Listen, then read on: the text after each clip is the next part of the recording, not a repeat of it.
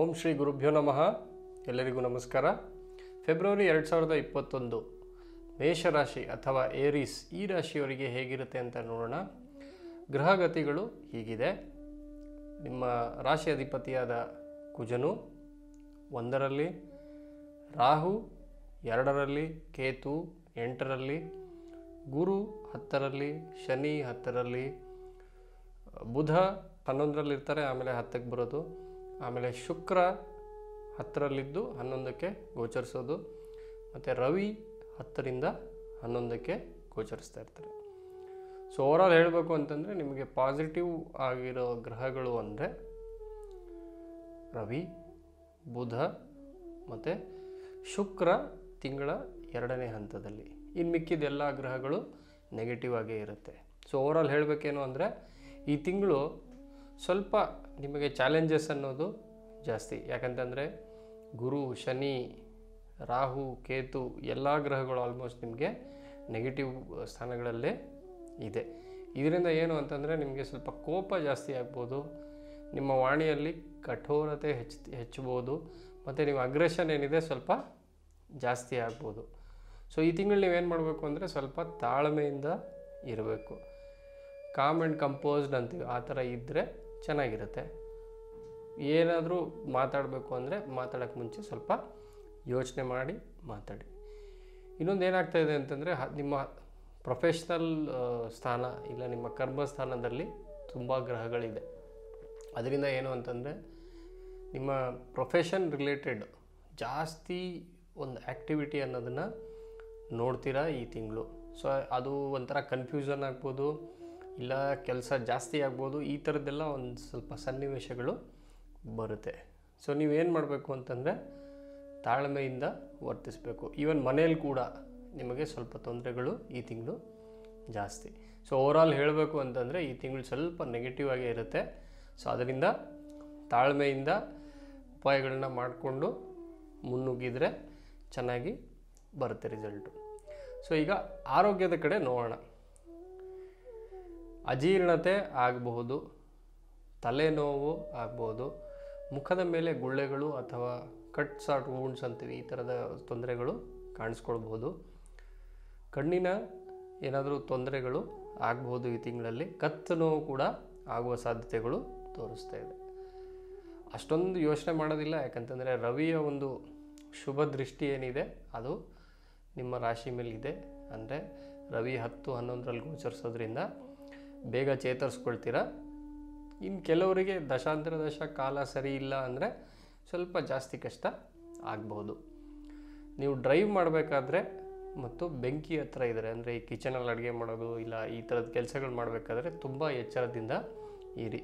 ಅದರಿಂದ ಸ್ವಲ್ಪ ಏನೋ ತೊಂದರೆ ಆಗುವ ಸೂಚನೆಗಳು ಇವೆ. ಈಗ ಉದ್ಯೋಗ ಮಾಡೋರು ಮತ್ತು ವ್ಯಾಪಾರ ಮಾಡೋರಿಗೆ ಹೇಗಿರುತ್ತೆ ಅಂತ ನೋಡೋಣ. ಸೊ ಉದ್ಯೋಗಸ್ಥರಿಗೆ ಫಸ್ಟ್ ಹೇಳಬೇಕು ಅಂದರೆ ಪೇಷನ್ಸು ತಾಳ್ಮೆ ಅನ್ನೋದು ತುಂಬ ಮುಖ್ಯ ಈ ತಿಂಗಳು ನಿಮಗೆ. ಯಾಕಂತಂದರೆ ನಿಮ್ಮ ಕಾರ್ಯಕ್ಷೇತ್ರದಲ್ಲಿ ಏನಿದೆ, ಅಡೆತಡೆಗಳು ಜಾಸ್ತಿ ಬರುತ್ತೆ. ಆಮೇಲೆ ಜನ ನಿಮ್ಮ ವಿರುದ್ಧ ಮಾತಾಡೋದು ಸಹಜ. ಸೊ ಇದರಿಂದ ಏನಾಗುತ್ತೆ ಅಂತಂದರೆ ನೀವು ಸ್ವಲ್ಪ ನಿಮ್ಮ ಕೋಪ ಏನಿದೆ ಅದು ಜಾಸ್ತಿ ಆಗಬಹುದು, ಮತ್ತು ನಿಮ್ಮ ವಾಣಿಯಲ್ಲಿ ಕಠೋರತೆ ಬರ್ಬೋದು. ಸೊ ಸ್ವಲ್ಪ ತಾಳ್ಮೆಯಿಂದ ಇರಿ, ಆಮೇಲೆ ಯೋಚನೆ ಮಾಡಿಬಿಟ್ಟು ಮಾತಾಡಿ. ಸೊ ಇದರಿಂದ ಆದಷ್ಟು ಪ್ರಾಬ್ಲಮ್ಗಳನ್ನು, ಇದರಿಂದ ಆದಷ್ಟು ಪ್ರಾಬ್ಲಮ್ಗಳು ಏನಿದೆ, ಅದರಿಂದ ಮುಕ್ತಿ ಹೊಂದಬೋದು ಈಗ ಅಗ್ರೆಸ್, ಅಗ್ರೆಷನ್ ಅನ್ನೋದು ಕಂಟ್ರೋಲಲ್ಲಿ ಇರಬೇಕು ಈ ತಿಂಗಳು. ಸ್ವಲ್ಪ ನಾವು ಅಗ್ರೆಸಿವ್ ಆಗಿ ಹೋದರೆ ನಮಗೆ ಲಾಸ್ ಆಗೋದು ಜಾಸ್ತಿ. ಸೊ ಇನ್ನೊಂದು ವಿಷಯ ಏನು ಅಂತಂದರೆ ನೀವೇನಾದರೂ ಕಮಿಟ್ ಮಾಡಬೇಕು ಅಂತಂದರೆ ತುಂಬ ಯೋಚನೆ ಮಾಡಿ ಕಮಿಟ್ ಮಾಡಿ. ಯಾಕಂತಂದರೆ ಸ್ವಲ್ಪ ಕನ್ಫ್ಯೂಷನ್ ಇರ್ಬೋದು, ಇಲ್ಲ ಸ್ವಲ್ಪ ಲೆಥಾರ್ಜಿ ಅನ್ನೋದು ಬರ್ಬೋದು, ಅದರಿಂದ ನೀವು ಕೆಲಸ ಕಾರ್ಯಗಳು ಮುಗಿಸ್ದೇ ಇರ್ಬೋದು. ಸೊ ಅದರಿಂದ ನಿಮಗೆ ಹವಾಮಾನ ಕೂಡ ಆಗುವ ಸಾಧ್ಯತೆಗಳು ತೋರಿಸ್ತಾ ಇದೆ. ಸ್ವಲ್ಪ ರವಿಯ ಒಂದು ಸ್ಥಿತಿ ಏನಿದೆ, ಅದು ಸ್ಟ್ರಾಂಗ್ ಆಗಿದೆ. ಅದರಿಂದ ನಿಮ್ಗೆ ಏನು ಪ್ರಾಬ್ಲಮ್ ಬಂದರೂ ನೀವು ಸ್ವಲ್ಪ ಧೈರ್ಯದಿಂದ ಎದುರಿಸ್ತೀರ. ಸೊ ಅದರಿಂದ ಅದೊಂದು ಪಾಸಿಟಿವ್ ಆಸ್ಪೆಕ್ಟ್ ಇದೆ. ಸೊ ನೀವು ಏನು ಮಾಡಬೇಕು ಅಂತಂದರೆ ಈ ತಿಂಗಳು ಪೇಷನ್ಸಿಂದ ವರ್ತಿಸ್ಬೇಕು, ಅಂದರೆ ತಾಳ್ಮೆಯಿಂದ ಇರಬೇಕು. ಎಷ್ಟು ಬೇಕೋ ಅಷ್ಟೇ ಮಾತಾಡಿ. ಮತ್ತು ನಿಮ್ಮ ಕೆಲಸ ಏನಿದೆ, ಅದರ ಬಗ್ಗೆ ಜಾಸ್ತಿ ಕಾಳಜಿ ವಹಿಸಿ. ಸೊ ಈಗ ವ್ಯಾಪಾರಸ್ಥರಿಗೆ ಹೇಗಿರುತ್ತೆ ಅಂತಂದರೆ, ಈ ಬಿಸ್ನೆಸ್ ಮ್ಯಾನ್ ಏನಿರ್ತಾರೆ ಅವರು ಕೂಡ ಕಾಮ್ ಆಗಿರ್ಬೇಕು ಈ ತಿಂಗಳು. ಇಲ್ಲ ಅಂತಂದರೆ ಕೆಲಸ ಕೆಡುವ ಸಾಧ್ಯತೆಗಳು ಜಾಸ್ತಿ ತೋರಿಸ್ತಾ ಇದೆ. ಏನೇನು ಪ್ರಾಜೆಕ್ಟ್ಗಳು ನಡೀತಾ ಇದೆಯೋ, ಅದರಲ್ಲಿ ಅಡೆತಡೆಗಳು ಬಂದೇ ಬರುತ್ತೆ. ಆದರೂ ನಿರಾಶರಾಗಬೇಡ್ರಿ. ಸೊ ಏನು ಮಾಡೋದು ಅಂತಂದರೆ ಸ್ವಲ್ಪ ಪಾಸಿಟಿವ್ ಮೈಂಡ್ಸೆಟ್ ಇರಲಿ. ಆಮೇಲೆ ಡಿಸಿಷನ್ ಮೇಕಿಂಗ್ ಏನಾದರೂ ಹೊಸ ನಿರ್ಧಾರ ತಗೋಬೇಕು ಅಂತಂದರೆ ತುಂಬ ಕೇರ್ಫುಲ್ಲಾಗಿರಿ ಎಲ್ಲ ಯೋಚನೆ ಮಾಡಿಬಿಟ್ಟು ನಿರ್ಧಾರ ತಗೊಳ್ಳಿ. ಮುಂದೂಡುವ ಸಾಧ್ಯತೆ ಇದ್ದರೆ ಮುಂದೂಡಿ. ಹೊಸ ಪ್ಲ್ಯಾನ್ಸ್ ಏನಾದರೂ ಇದ್ದರೆ ಅದು ಮುಂದಿನ ತಿಂಗಳು ಮಾಡಿದರೆ ಚೆನ್ನಾಗಿರುತ್ತೆ. ಅನಿವಾರ್ಯ ಕಾರಣ, ಕಾರಣದಿಂದ ಮಾಡಲೇಬೇಕು ಅಂತ ಬಂದರೆ ಸೆಕೆಂಡ್ ಹಾಫಲ್ಲಿ ನೋಡಬಹುದು. ಒಂದು ಒಳ್ಳೆ ಮುಹೂರ್ತ ನೋಡಿ ಶುರು ಮಾಡಿಕೊಡಿ. ಸೊ ಇನ್ನೊಂದೇನು ಅಂತಂದರೆ ನಿಮಗೆ ಈ ವಾಣಿಯಲ್ಲಿ ಕಠೋರತೆ ಇರ್ಬೋದು, ಮತ್ತು ಕೋಪ ಜಾಸ್ತಿ ಬರ್ಬೋದು. ಸೊ ಇದರಿಂದ ಏನು ಅಂದರೆ ನಿಮ್ಮ ಬಿಸ್ನೆಸ್ ಪಾರ್ಟ್ನರ್ಗಳ ಜೊತೆ ಸ್ವಲ್ಪ ಕಷ್ಟ ಆಗುವ ಸಾಧ್ಯತೆಗಳು ತೋರಿಸ್ತಾ ಇದೆ. ಸೊ ಅದರಿಂದ ಏನು ಅಂತಂದರೆ ತಾಳ್ಮೆಯಿಂದ ವರ್ತಿಸಿ, ಮುಂದೆ ಸಮಯ ಒಳ್ಳೇದು ಬರುತ್ತೆ. ಅದು ಬಂದಾಗ ಈಗ ಏನೇನು ಸ್ಲೋ ಡೌನ್ ಇದೆಯೋ, ಏನೇನು ಲಾಸ್ ಇದೆಯೋ ಅದೆಲ್ಲ ರಿಕವರ್ ಆಗುತ್ತೆ, ಒಳ್ಳೆ ಪ್ರಾಫಿಟ್ ಕೂಡ ಆಗುತ್ತೆ. ಈಗ ವಿದ್ಯಾರ್ಥಿಗಳೆಡೆ ನೋಡಿದರೆ ವಿದ್ಯಾರ್ಥಿಗಳಿಗೇನು ಅಂತಂದರೆ ಸ್ವಲ್ಪ ಪ್ಲ್ಯಾನಿಂಗ್ ತುಂಬ ಮುಖ್ಯ ಈ ತಿಂಗಳು. ಆಮೇಲೆ ಡಿಸಿಪ್ಲಿನ್ಡ್ ಆಗಿರಿ, ಒಂದು ಪಾಸಿಟಿವ್ ಮೈಂಡ್ಸೆಟ್ಟಿಂದ ಕೆಲಸ ಮಾಡಿ. ಯಾಕಂದರೆ ನಿಮಗೂ ಕೂಡ ಈ ಅಡೆತಡೆಗಳು ಜಾಸ್ತಿ ಕಾಣಿಸ್ತಾ ಇದೆ. ಓಕೆ ನಿಮ್ಗೆ ಸಕ್ಸಸ್ ಬೇಕು ಅಂತಿದ್ದಲ್ಲಿ ಪ್ಲ್ಯಾನ್ ಏನಿದೆಯೋ ಅದರ ಪ್ರಕಾರ ಶಿಸ್ತಿನಿಂದ ಮುಂದೆ ಸಾಗಿ. ಡೌಟ್ ಇದ್ದಲ್ಲಿ ಗುರುಗಳ ಮತ್ತು ನಿಮ್ಮ ಹಿರಿಯರ ಸಲಹೆಗಳನ್ನು ಪಡೆದುಕೊಳ್ಳಿ.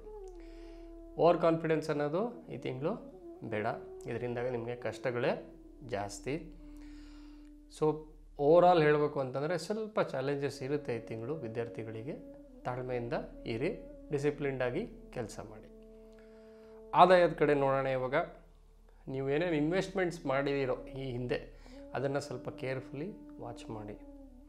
ಓಕೆ ಇನ್ನು ಹೊಸ ಇನ್ವೆಸ್ಟ್ಮೆಂಟ್ ಏನಾದರೂ ಮಾಡಬೇಕು ಅಂತ ಇದ್ದಲ್ಲಿ ಯೋಚನೆ ಮಾಡಿ ಪ್ರೋಸ್ ಆ್ಯಂಡ್ ಕಾನ್ಸ್ ಅಂತೀವಿ. ಅದನ್ನೆಲ್ಲ ಯೋಚನೆ ಮಾಡಿ ಡಿಸೈಡ್ ಮಾಡಿ. ಸ್ವಲ್ಪ ಎಕ್ಸ್ಪೆಂಡಿಚರ್ ಅನ್ನೋದು ಜಾಸ್ತಿ ಆಗುತ್ತೆ ಈ ತಿಂಗಳು. ಅಂದರೆ ಅನ್ಪ್ಲ್ಯಾಂಡ್ ಎಕ್ಸ್ಪೆಂಡಿಚರ್ ಅಂತೀವಿ. ಅನಿರೀಕ್ಷಿತ ಖರ್ಚುಗಳು ಅದಾಗಬಹುದು. ಸೊ ಅದರಿಂದ ಸ್ವಲ್ಪ ಜಾಗೃತರಾಗಿರಿ. ಇನ್ನೊಂದೇನು ಅಂತಂದರೆ ಆ ಥರದಲ್ಲಿ ಯಾವುದು ನಿರ್ಧಾರ ಫೈನಾನ್ಷಿಯಲ್ ಡಿಸಿಷನ್ ಏನಿದೆ, ಅದನ್ನು ತೊಗೊಳಕ್ಕೆ ಹೋಗಬೇಡಿ. ಇಲ್ಲ ಅಂತಂದರೆ ಲಾಸ್ ಆಗುತ್ತೆ. ಯಾವುದಾದ್ರು ದೊಡ್ಡ ಇನ್ವೆಸ್ಟ್ಮೆಂಟ್ ಮಾಡಬೇಕು ಅಂತಿದ್ದಲ್ಲಿ, ಈ ತಿಂಗಳು ಮಾಡದೇ ಇದ್ದರೆ ಒಳ್ಳೆಯದು ಇನ್ನು ಮುಂದೆ ಟೈಮ್ ಚೆನ್ನಾಗಿ ಬರುತ್ತೆ ಆವಾಗ ಮಾಡಿ. ಸೊ ಓವರಾಲ್ ಆದಾಯ ಏನು ಅಂತಂದರೆ ಬರೋದು ಬರುತ್ತೆ ಬಟ್ ಜಾಸ್ತಿ ಎಕ್ಸ್ಪೆಕ್ಟ್ ಮಾಡೋಂಗಿಲ್ಲ. ಎಷ್ಟು ಬರಬೇಕೋ ಅಷ್ಟು ಬರುತ್ತೆ, ಆದರೆ ಖರ್ಚು ಜಾಸ್ತಿ ಆಗೋ ಸಂಭಾವನೆಗಳು ತೋರಿಸ್ತಾ ಇದೆ ಈ ತಿಂಗಳು. ಸೊ ಈಗ ಕುಟುಂಬದ ಕಡೆ ನೋಡೋಣ. ಕುಟುಂಬ ಏನು ಅಂತಂದರೆ ನೀವು ಎಷ್ಟು ಕಾಮ್ ಆ್ಯಂಡ್ ಕ್ವೈಟ್ ಆಗಿರ್ತೀರೋ, ಅಷ್ಟು ಕುಟುಂಬ ಕ್ಷೇತ್ರದಲ್ಲಿ ನಿಮಗೆ ಒಂದು ಸುಖ, ಶಾಂತಿ ಅನ್ನೋದನ್ನು ಕಾಣ್ತೀರ. ಕೋಪ ಮಾಡಿಕೊಂಡಲ್ಲಿ, ಕಠೋರವಾಗಿ ಮಾತಾಡಿದ್ದಲ್ಲಿ ಸ್ವಲ್ಪ ತೊಂದರೆ ಆಗುವ ಸಾಧ್ಯತೆಗಳು ಜಾಸ್ತಿನೇ ತೋರಿಸ್ತಾ ಇದೆ. ಅಂದರೆ ನೀವು ಕಾಮ್ ಆ್ಯಂಡ್ ಕೂಲಾಗಿ ಇದ್ದರೆ ಫ್ಯಾಮಿಲಿ ಅಟ್ಮಾಸ್ಫಿಯರು ಚೆನ್ನಾಗಿರುತ್ತೆ. ನಿಮ್ಮ ಸಂಗಾತಿಯೊಡನೆ ಡಿಫ್ರೆನ್ಸ್ ಆಫ್ ಒಪಿನಿಯನ್ ಬರುತ್ತೆ. ನೀವು ಹೇಳಿದ ಮಾತು ಅವ್ರು ಕೇಳದೇ ಇರ್ಬೋದು, ಇಲ್ಲ ಅವ್ರು ಹೇಳಿದ ಮಾತು ನೀವು ಕೇಳದೇ ಇರ್ಬೋದು. ಸೊ ಸ್ವಲ್ಪ ನೋಡಿಕೊಂಡು ತಾಳ್ಮೆಯಿಂದ ಇರಿ. ನಿಮ್ಮ ತಂದೆಯವರ ಆರೋಗ್ಯದಲ್ಲಿ ಸ್ವಲ್ಪ ಏರುಪೇರು ಕಾಣಿಸ್ಬೋದು. ಸೊ ಅದರ ಬಗ್ಗೆ ಜಾಗ್ರತೆ ವಹಿಸಿ. ಏನಾದರೂ ರೆಗ್ಯುಲರ್ ಚೆಕಪ್ ಮಾಡಿಸೋದಿದ್ರೆ ಮಾಡಿಸಿ. ಇನ್ನೇನು ಮಾಡಬೇಕು ಅಂತಂದರೆ ಈಗ ಊಟ ಅನ್ನೋದು ಸ್ವಲ್ಪ ನಿಮಗೆ ಸಮಯಕ್ಕೆ ಸಿಗಲ್ಲ ಈ ತಿಂಗಳು. ಸೊ ಅದರಿಂದ ಏನು ಅಂತಂದರೆ ಬೇಜಾರಾಗಬೇಡಿ. ಆದಷ್ಟು ಪ್ರಯತ್ನ ಮಾಡಿ. ಕರೆಕ್ಟ್ ಟೈಮ್ಗೆ ಊಟ ಮಾಡೋಕ್ಕೆ. ಮಕ್ಕಳದೇನು ಏನು ಅಂತಂದರೆ ಮಕ್ಕಳಿಂದ ಸ್ವಲ್ಪ ಮಕ್ಕಳ ಹೆಲ್ತಲ್ಲಿ ಸ್ವಲ್ಪ ಹೆಚ್ಚು ಕಮ್ಮಿ ಆಗ್ಬೋದು. ಸೊ ಅವರ ಆರೋಗ್ಯದ ಬಗ್ಗೆ ಜಾಸ್ತಿ ಗಮನ ಇರಲಿ. ಸೊ ಓವರಾಲ್ ಹೇಳಬೇಕು ಅಂತಂದರೆ ಕುಟುಂಬ ಕ್ಷೇತ್ರದಲ್ಲಿ ನಿಮಗೆ ಶಾಂತಿ, ಸೌಖ್ಯ ಬೇಕು ಅಂದರೆ ನೀವು ಯೋಚನೆ ಮಾಡಿ ಮಾತಾಡಿ, ಎಷ್ಟು ಬೇಕೋ ಅಷ್ಟೇ ಮಾತಾಡಿ, ಅದರಿಂದ ಚೆನ್ನಾಗಿರುತ್ತೆ. ಈ ತಿಂಗಳು ಸ್ವಲ್ಪ ಚಾಲೆಂಜಿಂಗ್ ಆಗಿದೆ, ಹೌದು. ಆದರೆ ಕೆಲವು ಉಪಾಯಗಳಿದೆ. ಈ ಉಪಾಯಗಳನ್ನ ಮಾಡಿಕೊಂಡ್ರೆ ಸ್ವಲ್ಪ ಬೆಟರ್ ಆಗುವ ಚಾನ್ಸಸ್ ಜಾಸ್ತಿ ಇದೆ. ಶಿವನಿಗೆ ಪಂಚಾಮೃತ ಅಭಿಷೇಕವನ್ನು ಮಾಡಿಸಿ. ನಿಮಗಾದರೆ ನೀವೇ ಮಾಡ್ಕೊಳ್ಳಿ, ಮನೆಯಲ್ಲಿ ಇಲ್ಲ ಅಂತಂದರೆ ಶಿವನ ದೇವಸ್ಥಾನಕ್ಕೆ ಹೋಗಿ ಶನಿವಾರದಂದು ಮಾಡಿಸಿ. ಇದರಿಂದ ನಿಮಗೆ ಒಳ್ಳೆಯ ಪಾಸಿಟಿವ್ ರಿಸಲ್ಟ್ಸು ಬರುತ್ತೆ.